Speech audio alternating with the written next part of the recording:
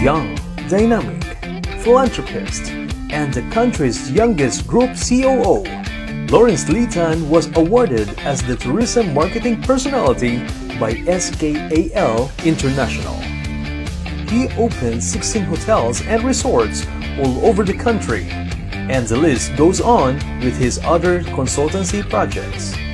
Currently, he is part of a very successful team who is behind the internationally acknowledged Filipino millennial concepts and brands.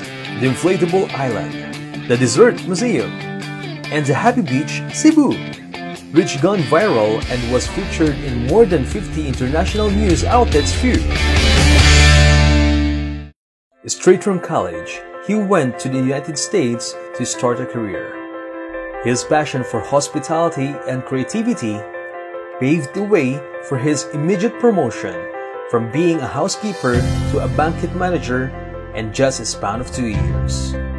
He went back to the Philippines in the hopes of cementing his career in his homeland, which he did and more. He climbed up the ladder of himself, but rather focuses on selflessly helping other budding young hoteliers achieve their dreams. When he joined the academy, he wrote the books on hospitality, food, and beverage.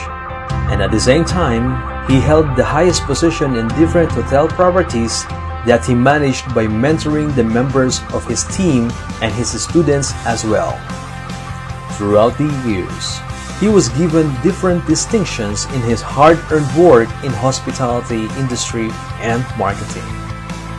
Just recently, he was awarded as the ASEAN Young Leader for 2018.